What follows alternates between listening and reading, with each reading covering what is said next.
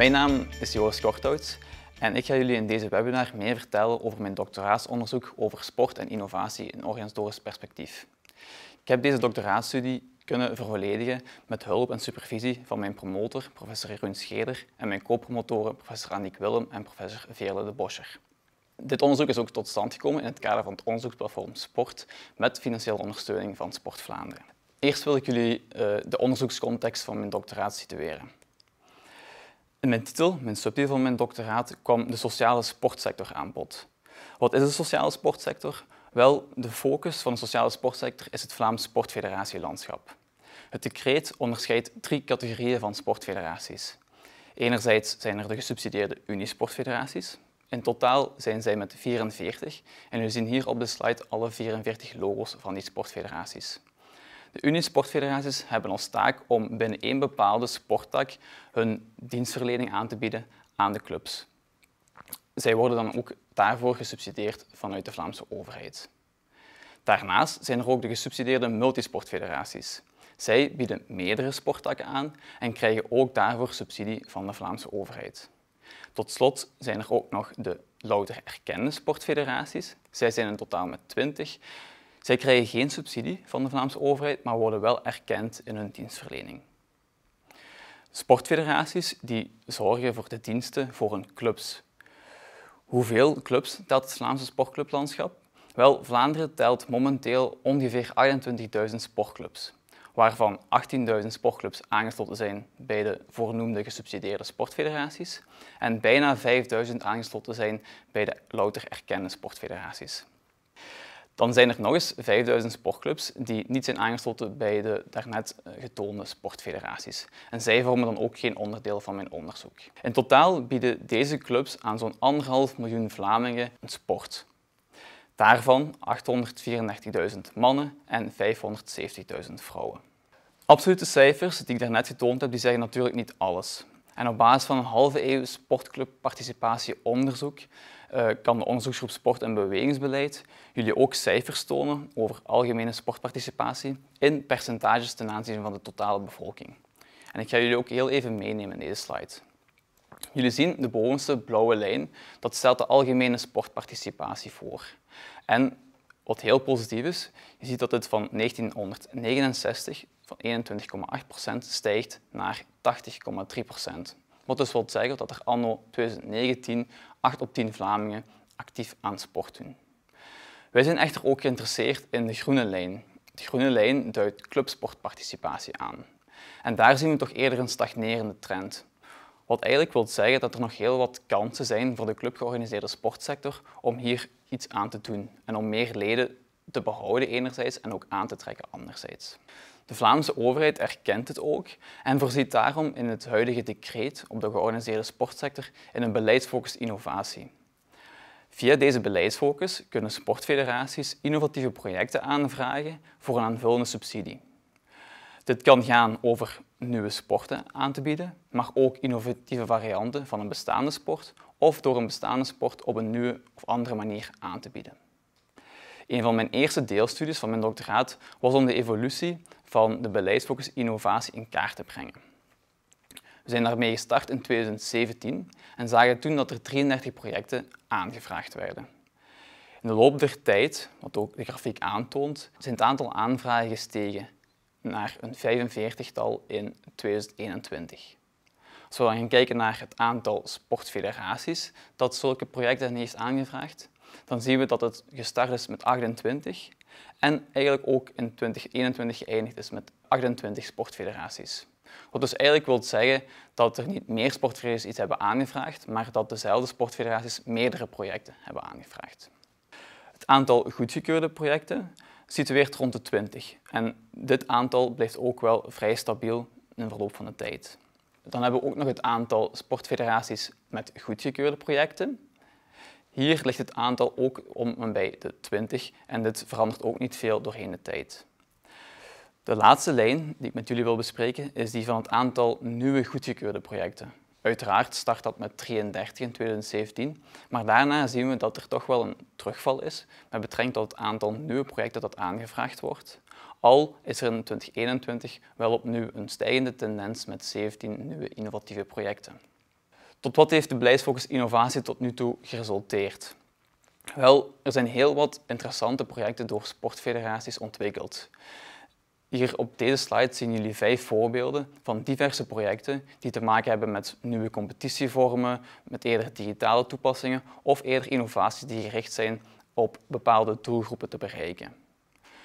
Met andere woorden, innovatie kan heel multidimensioneel worden opgevat. En dat is ook in de wetenschappelijke literatuur het geval.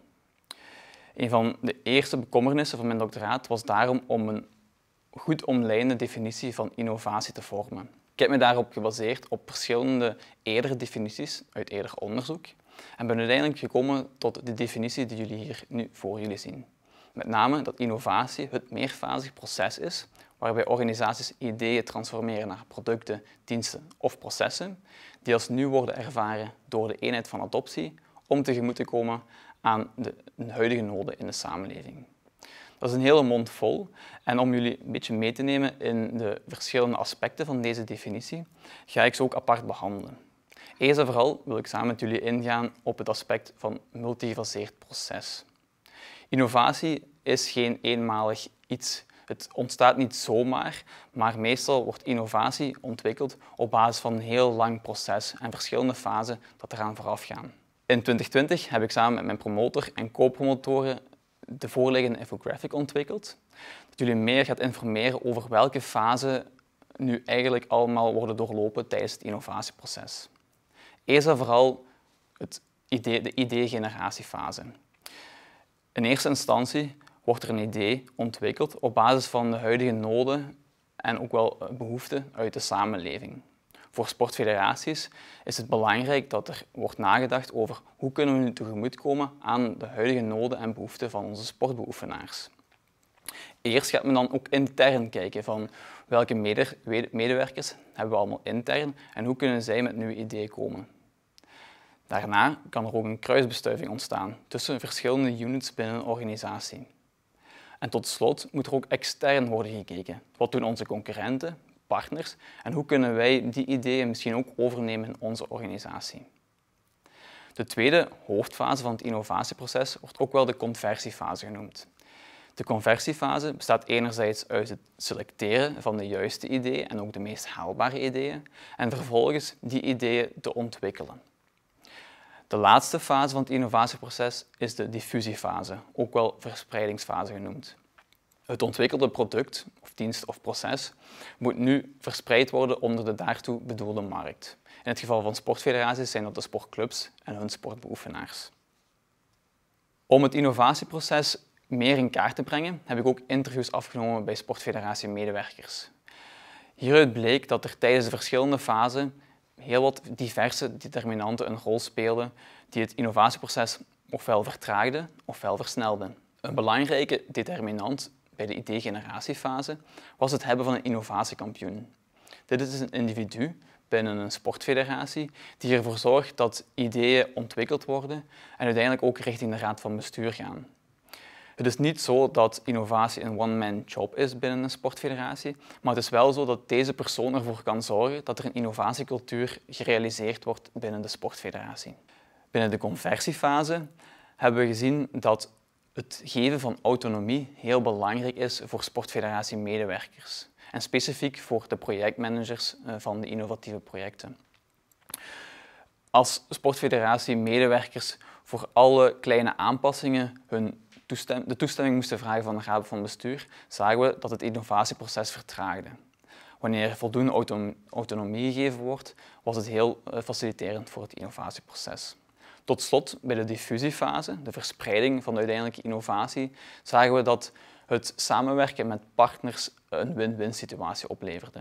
Door relevante partners te zoeken of zelfs concurrenten die kunnen samenwerken met elkaar, bleek het innovatieproces en specifiek de verspreidingsfase vlotter te verlopen. Onderzoeksvraag 2 gaat in op het multidimensionale aspect van innovatie. Innovatie kan verschillende vormen aannemen, dat hebben we net al gezien. En dat komt ook tot uiting in het propellermodel van Scheler, wat ik als basis gebruikt heb voor mijn doctoraatsonderzoek. Innovaties kunnen productgerelateerd zijn, organisatorisch gerelateerd zijn en sociaal gerelateerd zijn. Wat dat precies wil zeggen, ga ik uitleggen in de volgende slide. We hebben dus drie verschillende dimensies. Als we gaan kijken naar productinnovaties, dan staat het principe van kwaliteit centraal. Productinnovaties zijn heel sterk gericht op kwaliteitsvolle producten om de onbeantwoorde vraag in de markt op te lossen. Een voorbeeld zou de beweegbank van IPITUP kunnen zijn, die de, vraag, de onbeantwoorde vraag beantwoordt om in publieke ruimte te investeren in bewegingsinfrastructuur. Als we gaan kijken naar organisatorische innovatie, dan hebben we het principe van efficiëntie dat centraal staat. Efficiëntie wil dus eigenlijk zeggen op welke manier kunnen we innovaties uh, vlotter verspreiden. Denk bijvoorbeeld in dit geval aan het uh, nieuwe digitale beheersystemen die de vroegere papieren inschrijvingen kunnen vervangen. Tot slot hebben we ook nog sociale innovatie en daar is toegankelijkheid heel belangrijk. Sociale innovatie is gericht naar bepaalde doelgroepen, bijvoorbeeld mensen met een migratieachtergrond of mensen met een beperking. En sociale innovaties komen tegemoet en bieden hun, dus de bepaalde doelgroepen, toegang tot het sporten. Wat het propelmodel ook uniek maakt, is dat het zegt dat sociale innovaties, productinnovaties en organisatorische innovaties in relatie met elkaar kunnen staan. Een sociale innovatie kan dus met andere woorden ook organisatorisch zijn. Al moet er dan wel rekening gehouden mee worden dat men waarschijnlijk gaat inboeten op de kwaliteit. Een sociale innovatie kan ook perfect productgerelateerd zijn, maar dan ontbreekt waarschijnlijk een bepaalde efficiëntie en zal de innovatie eerder traag worden ontwikkeld. Als men kiest voor kwaliteit en efficiëntie, dan gaat men hoogstwaarschijnlijk richting een dure innovatie gaan. En gaat het waarschijnlijk uh, minder gaan om toegankelijkheid en zullen ook waarschijnlijk minder doelgroepen bereikt worden. In mijn onderzoek heb ik alle drie dimensies in detail onderzocht. Bij productinnovatie heb ik gekeken naar de sociale netwerksites van sportfederaties, sportdiensten en fitnesscentra. Concreet ben ik gaan kijken hoe de Facebook-sites van de sportfederaties, de sportdiensten en de fitnesscentra beheerd worden. En daaruit bleek dat sportfederaties sterker scoren op gebied van postpopulariteit en paginapopulariteit. Dat wil eigenlijk zeggen dat ze meer likes verzamelen, relatief gezien, op een pagina en op de posts die ze maandelijks posten. Dat is een zeer positief verhaal dus in het geval voor de sportfederatiesector. Wat ook wel werd gevonden in die studie, is dat sportfederaties, maar evengoed sportdiensten en fitnesscentra, voornamelijk Facebook gebruiken als een eenrichtingscommunicatiekanaal. Ze verspreiden nieuws, maar verwachten geen interactie. En dit is iets waar eigenlijk wel in de toekomst uh, op verbeterd kan worden. Organisatorische innovatie heb ik ook onderzocht. Op basis van de administratieve processen die binnen sportfederaties en sportclubs um, gebeuren. Hier zien jullie een grafiek waar de bolletjes telkens uh, sportfederaties voorstellen. Hoe beter de score op de x-as, hoe beter de score eigenlijk op organisatorische innovativiteit van de sportfederatie. Op basis van deze grafiek kon ik sportfederaties onderdelen in een groep van innovatoren die goed scoren op organisatorische innovativiteit en een groep van achterblijvers die minder scoren. Als we deze groepen met elkaar vergelijken, dan zien we dat het niet zozeer gaat om structurele kenmerken die beide groepen onderscheiden van elkaar, maar eerder om attitudes en percepties. Het gaat dus niet zozeer om de grootte, het aantal medewerkers of de financiën, maar wel hoe men nadenkt bijvoorbeeld over complexiteit. Uit onderzoek is gebleken dat complexiteit voor de innovatoren geen drempel vormt, terwijl dat wel het geval is voor de achterblijvers. Met andere woorden, als een innovatie te complex wordt voor achterblijvers, dan gaan zij sneller afhaken, terwijl innovatoren het risico wel durven nemen. Ook de attitude richting compatibiliteit bleek uit ons onderzoek van belang. Qua compatibiliteit zien we dat innovatoren veel meer durven innovaties ondernemen die niet zo sterk gelinkt zijn aan hun waarden en normen, terwijl achterblijvers wel bij hun status quo willen blijven, dus wel hun tradities en waarden in eer willen houden en daarom niet uh, innovaties willen implementeren die daarvan afwijken. En dan sociale innovatie. Daar hebben we onderzocht hoe sportclubs initiatieven ondernemen richting bepaalde doelgroepen. Jullie zien hier verschillende doelgroepen opgelijst staan. En het percentage geeft weer hoeveel of welk aandeel clubs een bepaald initiatief genomen heeft voor die doelgroep. Een doelgroep dat veel werd bereikt, met name door 66% van de clubs, is die van kinderen en adolescenten. Maar deze groep is juist eigenlijk al oververtegenwoordigd binnen de sportclubsector. Als we gaan kijken naar andere doelgroepen in deze maatschappij, bijvoorbeeld mensen met een beperking of mensen met een migratieachtergrond, dan zien we dat sportclubs veel minder initiatieven nemen om deze doelgroep specifiek te bereiken. Dat brengt me tot onderzoeksvraag 3. Tegemoetkomen aan huidige noden in de samenleving. Om het effect van innovatie te onderzoeken, heb ik de relatie onderzocht tussen de gepercipieerde nood aan verandering, sportlight innovatie en organisatorische groei. Nu, wat betekent gepercipieerde nood aan verandering? Dat is eigenlijk de verandering die sportfederaties of sportclubs zelf aanvoelen of ze tegemoet moeten komen aan bijvoorbeeld maatschappelijke uitdagingen uh, met betrekking tot hun leden. Waar hebben hun leden behoefte aan? En merken sportclubs ook dat ze hierin moeten investeren? Als dit het geval is, dan wil dat zeggen dat ze een gepercipieerde nood aan verandering hebben ervaren. Bij Sportlight Innovatie gaan we zijn we voornamelijk gaan kijken naar een flexibel lidmaatschapsformules en in welke mate sportclubs dit aanbieden aan hun leden. En dan bij organisatorische groei hebben we gekeken ook in welke mate heeft nu gepercipieerde nood aan verandering en Sportlight Innovatie een invloed op de groei van het ledenaantal van een sportclub. Wel, onze resultaten duiden op het volgt. Gepercipieerde nood aan verandering werd positief gerelateerd aan sportlight innovatie. Dat wil dus zeggen dat sportclubs die een gepercipieerde nood aan verandering hebben ervaren, dat die ook wel degelijk flexibele lidmaatschapsformules hebben aangeboden in de afgelopen jaren. Daarnaast werd ook een positieve relatie gevonden tussen gepercipieerde noodzaak aan verandering en organisatorische groei. De sportclubs die dus een gepercipieerde nood aan verandering hebben ondervonden, hebben in de daaropvolgende jaren ook een groei in hun lidmaatschap gezien. Wat we wel niet konden vaststellen, was de positieve relatie die in het begin uh, gesuggereerd werd tussen sportlight adoptie enerzijds en organisatorische groei anderzijds.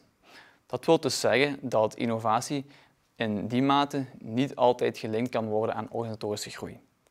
Dat leidt me tot de implicaties. Er zijn een aantal beleidsimplicaties die van nut zijn voor de beleidsmakers enerzijds, maar ook voor de sportfederaties, medewerkers en sportclubs anderzijds, die ik graag met jullie wil delen. Enerzijds het principe van innovatieproeftuinen. Innovatieproeftuinen zijn fysieke of digitale plaatsen waar organisaties kunnen samenkomen om een gemeenschappelijk idee uit te werken. Idealiter wordt er hier gewerkt met een samenwerkingsverband waarbij zowel gebruikers betrokken worden, onderwijsinstituten, sportfederaties of sportclubs zelf en eventueel nog andere geïnteresseerde partners. Om zo de sterktes van elke partner te combineren. Een volgende beleidsimplicatie is dat innovatie ook als een kwaliteitsprincipe zou kunnen opgenomen worden in het decreet.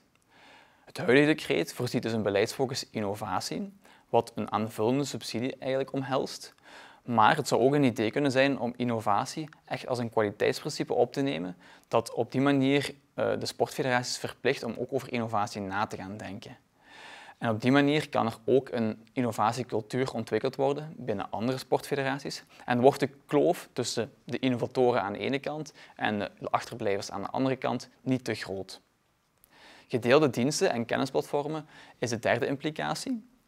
Dit wil zeggen dat sportfederaties meer samenwerking moeten zoeken met elkaar. Er zijn verschillende back-office diensten die gedeeld kunnen worden. En op die manier kan men eigenlijk besparen op verschillende budgetten en toch samen naar een gemeenschappelijk doel werken.